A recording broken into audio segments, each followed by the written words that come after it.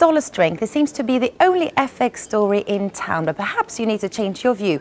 Trader Ken Veksler has, after being bearish for most of the year. The reason for the shift to neutrality away from bearishness is because ultimately there has been a plateau of sorts in the fundamental data coming out of the US.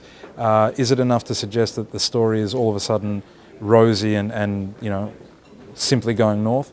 To me personally, no. Uh, I think also the fact that the FOMC, or rather the Fed, has signalled that rate hikes are, well, as far as the market's concerned, imminent, but given that they are sooner or likely to sooner raise rates than not raise rates, that in itself has uh, abated my bearishness towards the currency.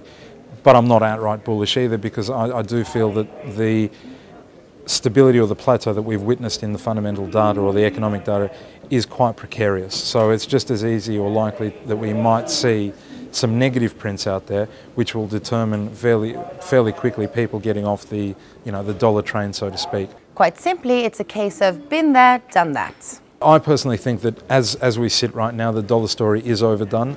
Uh, the, the metrics on, upon which it was, you know, has gotten this far were legitimate, but that's not to say that it hasn't run too far because we're yet to see further supporting consistent you know, data and information to actually support the strength and the pace of the trend. But again, given that the market hasn't seen a trend for you know, upwards of 12 months, it, it's, it's only natural that people jump on board and you know, don't want to believe that the dream may be over anytime soon.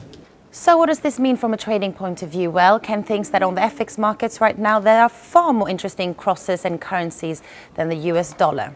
Personally, I'm not getting in front of the train, so I'm not, I'm not looking to fade this rally only because given the ferocity of the move, it, you're, you're bound under you know, strict risk, risk management guidelines to probably end up getting hurt and stopping yourself out in all likelihood just before it reverses. So the best bet for me personally is to stay away from the dollar for the interim and look for a signal whereby I think there may be a temporary plateau and somewhat, you know, somewhat of a reversal. Numbers that we could see in the non-farms could be the initial catalyst, but again, when, when the market's made up its mind, it's going to take more than one outside print to really you know, move things along. So the focus for me would be something like the sterling or even the Aussie, for instance, but not against the dollar.